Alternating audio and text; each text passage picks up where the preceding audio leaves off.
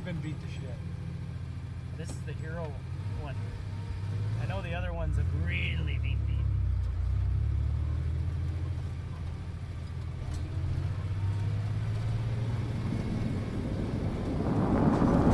Oh my god!